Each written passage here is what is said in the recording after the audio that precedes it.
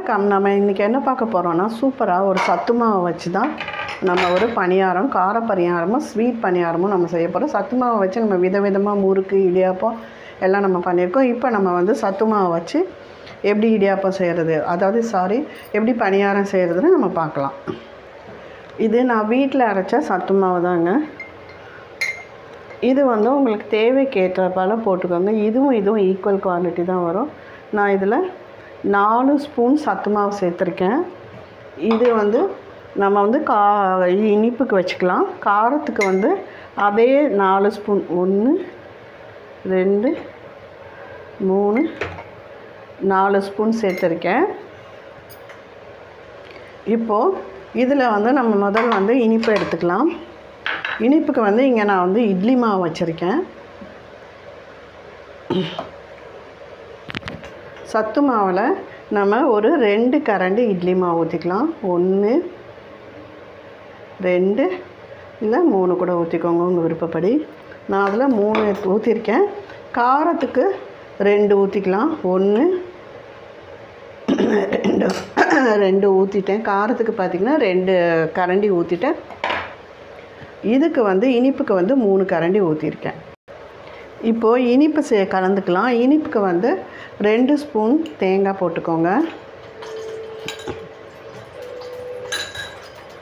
அப்புறம் தேவையான அளவு இனிப்பு உனக்கு நிறையா சாப்பிடுவீங்கன்னா நல்லா ஸ்வீட்டாக சாப்பிடுவீங்கன்னா அதுக்கேற்ற மாதிரி போட்டுக்கோங்க. நான் மூணு ஸ்பூன் இனிப்பு சேர்த்துருக்கேன்.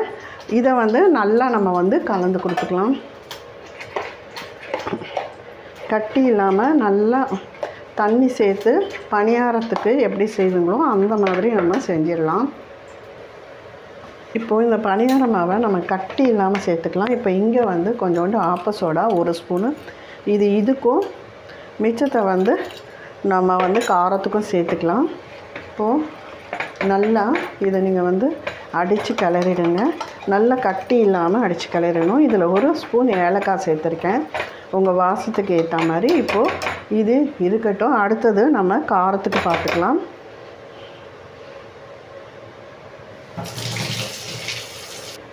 இப்போ காரத்துக்கு இந்த ஆப்ப சோடாவை சேர்த்துக்கோங்க.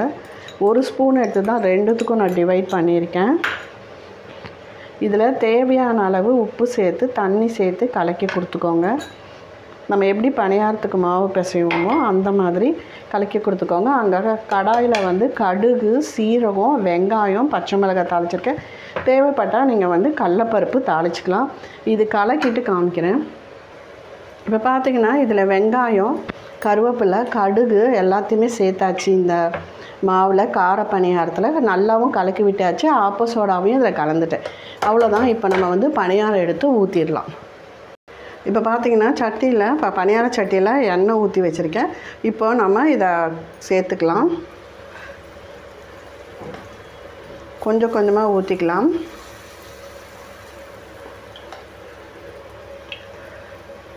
இந்த மாதிரி ஒரு முறை சத்துள்ளதாக குழந்தைங்களுக்கு கொடுங்க.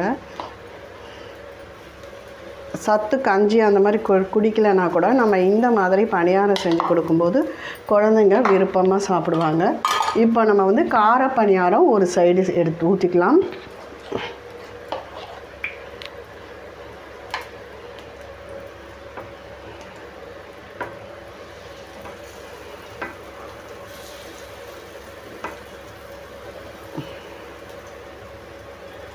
காரமும் இனிப்பும் நம்ம ஊற்றியாச்சு அது வேகட்டும் நம்ம பார்க்கலாம். ஒரு மூடி இப்போ பார்த்தீங்கன்னா போட்டோன்னே வெந்துருச்சு. ஏன்னா எண்ணெய் காஞ்சிருச்சு. மெது மெதுவாக நம்ம வந்து திருப்பி கொடுக்கலாம். வெந்ததெல்லாம் எடுத்து திருப்பி கொடுக்கலாம். எப்போவுமே நடுவில் இருக்கிறது சீக்கிரம் வெந்துடும்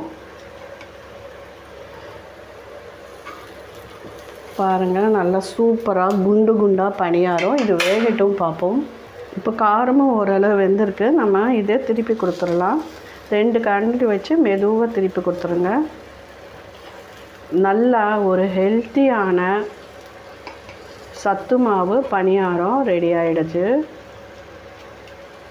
எல்லாத்தையுமே திருப்பி கொடுத்துடலாம்.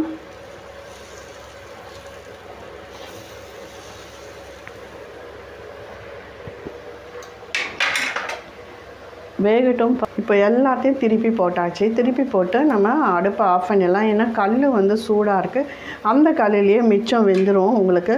இதை பார்த்தீங்கன்னாவே இது வெந்து தான் இருக்குது இந்த சூட்டில் வைக்கும்போது இன்னும் நல்லா முறு முறுன்னு கிறிஸ்பியாக இருக்கும்.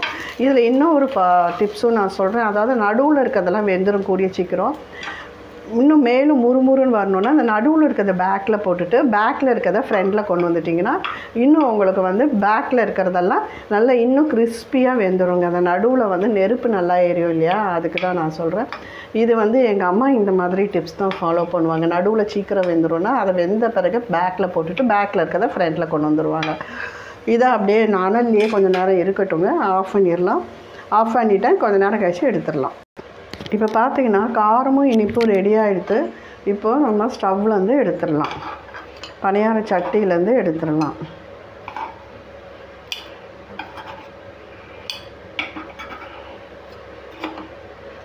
எல்லாத்தையும் எடுத்துகிட்டு காமிக்கிறேன். இப்போ பார்த்தீங்கன்னா சூப்பராக பணியாரம் ரெடி ஆகிடுது உங்களுக்கே பாருங்கள் எவ்வளோ குண்டு குண்டாக ஸ்வீட் பணியாரமும் கார பணியாரமும் ரெடி ஆகிடுது இதை நம்ம பாருங்கள் எவ்வளோ சாஃப்டாக உள்ள பஞ்சு போல் இருக்குது இதை வீடியோவை ட்ர கண்டிப்பாக ட்ரை பண்ணி பாருங்கள் குழந்தைங்களுக்கு சத்துள்ளதை நம்ம கொடுக்கும்போது அதை வந்து எந்த முறையில் நம்ம கொடுத்தா குழந்தைங்க சாப்பிடுவாங்கன்னு நம்ம செஞ்சு கொடுக்கணுங்க. இதை பாருங்கள் சூப்பராக இருக்குது இது ஒரு தேங்காய் சட்னியோட கார சட்னியோட சாப்பிட்லாம். நன்றி வணக்கம்.